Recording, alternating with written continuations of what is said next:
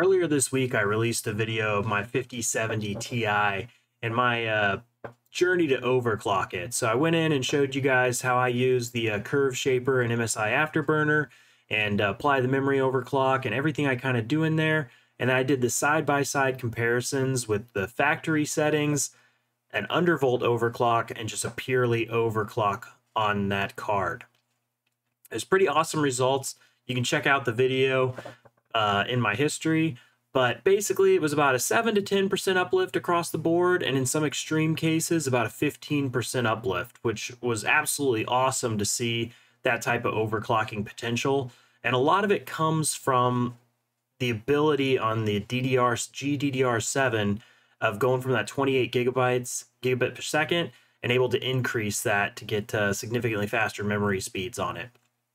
So after I released that video, quite a few users were like, hey, you know that you can get MSI Afterburner to get it to th plus 3000, not just plus 2000.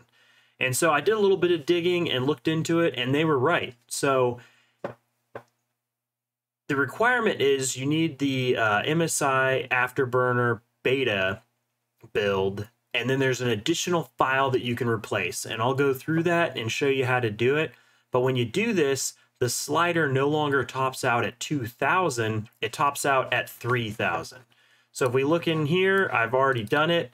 And as we can see, you can come all the way down up to plus 3000. So when you just install the base software, this will top out at 2. When you install the additional file, you can go ahead and get that up to 3. And like we saw before, we have our updated curve as well. And if you want to see kind of how I did that and the shortcuts and everything I used, you can check out my other video. So immediately I got this done. Was super stoked. I was like, this new GDDR7, it's going to be the savior. It's going to make these cards so fast.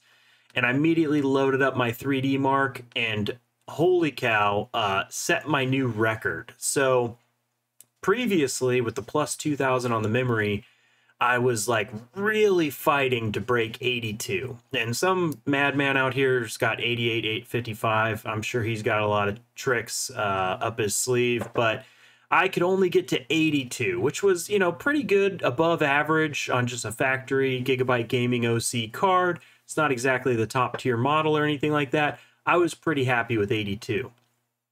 Then I unlocked the plus 3000 and picked up another 100 points which if you take a look at the chart here, I mean, we are up in like the tippy tip tip of the peak of the chart. So we are killing it right now. However, my excitement quickly, you know, came to an end. So, well, before we jump into that, let me show you how I did it. Um, so that way, if you want to play around with it, you can do it too. But if you come over here and you go to the forums at Guru3D, I'll have links for these in the uh, system. But basically what you want to do is at the very top, it's got the download for the MSI Afterburner Beta 5, or you can just Google it and it'll pull up uh, MSI's official page. That way you make sure you're getting the latest version. And then if you scroll down far enough, um, same kind of post broken up, but it'll say this is a modified database. It's for build 5, 16555 only. And if you go ahead and download this, like I've already done, oh, that's not it. Well, we'll download it again. I don't know what happened to it. So you get this updated uh, DAT file. So when you come into your PC, I need to clear some things off that hard drive. Uh, you'll go into local disk C, program files x86, coming down MSI Afterburner, and then in the base Afterburner uh, folder, so you don't have to go in any subfolders, you'll see it's right here, MSI Afterburner.dat.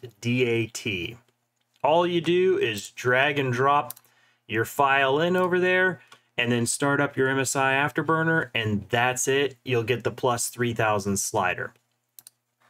So like I was saying, as soon as I jumped into the synthetics, I immediately picked up a pretty significant score jump. So I was absolutely stoked about the performance.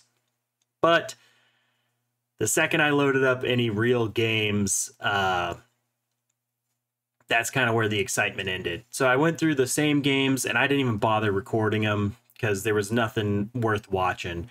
So I went through uh, Counter Strike 2, Doom the Dark Ages, Cyberpunk, Call of Duty Black Ops 6, and there was no uh, increase in performance whatsoever. In fact, it was within a margin of error. In most cases, I lost about one FPS. So, of course, I started searching. Well, what other people, you know, what results have other people gotten? And a lot of people said, like, oh, actually at 3000, it didn't work that well for me. When I went to 27, it worked great. I tried that. I tried it in game in the synthetic.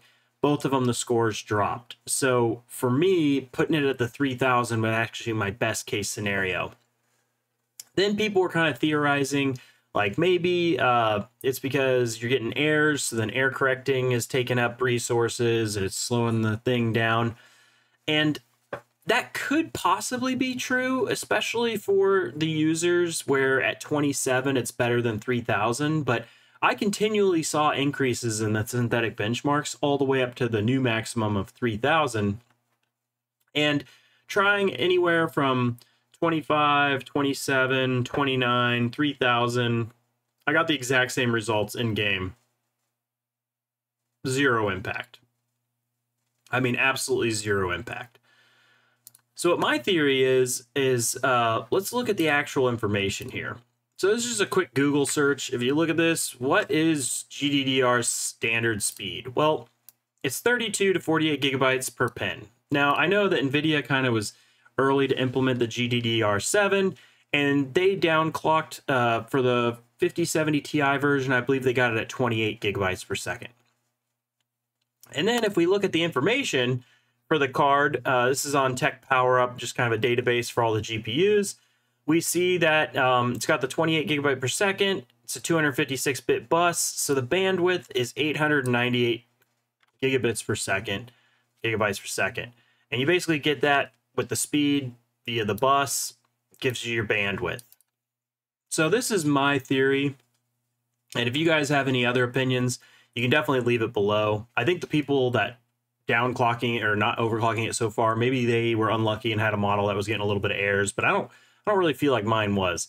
My theory is if you look at the 4070 Ti Super, it was GDDR6X, same 256 bus, and the bandwidth was 672.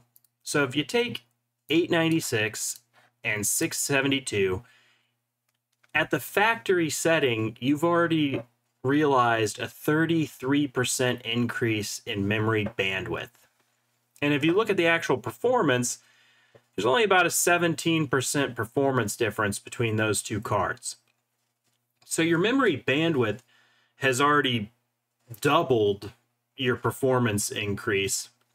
And then when you go ahead and you overclock it by that much more, so, you know, if you're doing plus 3000, your effective rate would be getting closer to what like the factory standard is, the range that it's in. I just think that at a certain point, the memory bandwidth is no longer your limiting factor.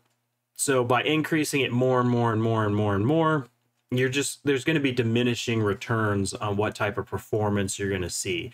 At the heart of it, the core and the shader units and everything that's doing the work, it's got to be able to do the work. Yeah, being able to transfer the information faster and more information is great, but if it can't process it, if the uh, the cores aren't able to handle it, um, then that's kind of the, the end of the road. You can indefinitely, you know, hypothetically, you could indefinitely increase the bandwidth.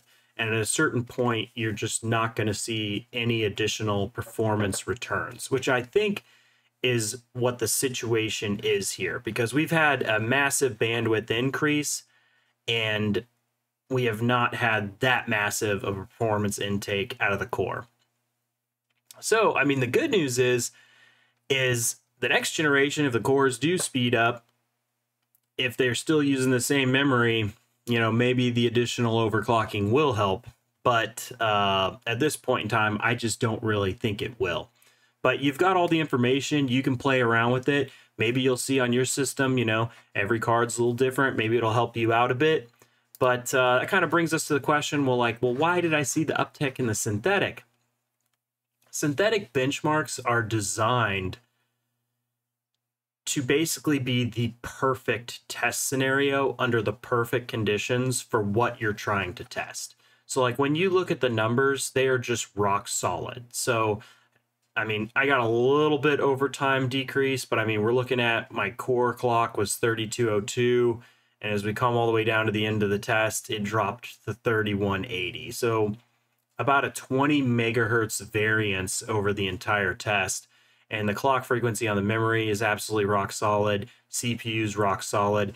You're never going to see lines like this in an actual video game, especially out of the CPU. Like that should be going up and down. So these things are designed to absolutely maximize every bit of the hardware in order to pick up those tiny deviations between systems because you know that's how you build out your leaderboard so my theory here is is under the perfect conditions you know maybe that extra bandwidth can give us a little bit of that extra edge that we need but realistically in day-to-day gaming i'm just not seeing the results so bottom line, I do appreciate the tip uh, from my viewers. It was fun to try out. It was really cool, and I was super excited when uh, the first test I did had a major uptick in performance. But I think uh, on the day to day, the plus 2000 did help out.